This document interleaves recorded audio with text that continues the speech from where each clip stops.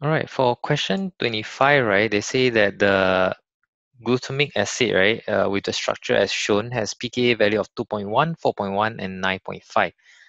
All right, so what is the structure of the major species in the solution of glutamic acid at pH 7? So at pH 7, right, you can see that uh, the 2 carboxylic acid group is more acidic than the solution. So they are going to deprotonate, all right, and become the COO minus.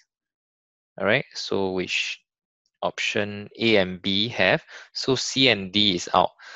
All right, so what will happen to the NH3 group, which is less acidic? It will be protonated by the solution. So that leaves us with option B. All right, uh, question 26. Uh, we are told that uh, the use of data booklet is relevant and we need to assume that electronic configuration of the first and second row of transition metal are similar. All right. Uh, so this we are told that this MOF4 right is a green ionic solid. Uh, okay, take note that the oxidation number is plus 4 for MO. Okay, is the electronic configuration of this MO ion? Right, if you look at the data booklet, right, your MO is directly below chromium, and chromium we know what is the electronic configuration is one of the two special cases, right?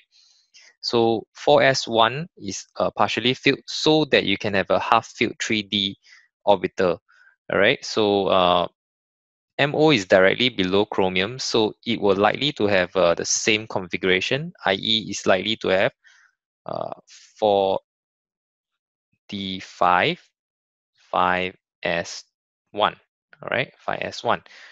Okay, so going back to the question, right, if we remove four electrons, right, uh, from uh, 4D5, 5S1, we're going to end up with B. All right, so B is going to be our answer.